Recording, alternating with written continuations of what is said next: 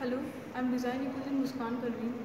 Doing my Bachelor of Computer Applications, we had a work exhibition on 9th and 10th November with the name Identity. We had a lots of jury members to see our work and lots of students to hear us speak.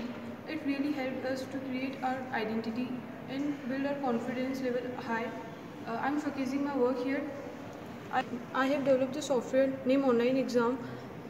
We can operate the software by, using both student panel and administrator panel. Student panel is for user who will be giving the test and admin panel is for admin who can manage all the tasks like updation, deletion and other kind of modification. I really thank my college, Design Equal, to provide me such an opportunity like this, which where I can uh, where I can boost up my confidence level high. Uh, today I feel I'm the best as I'm Design Equal.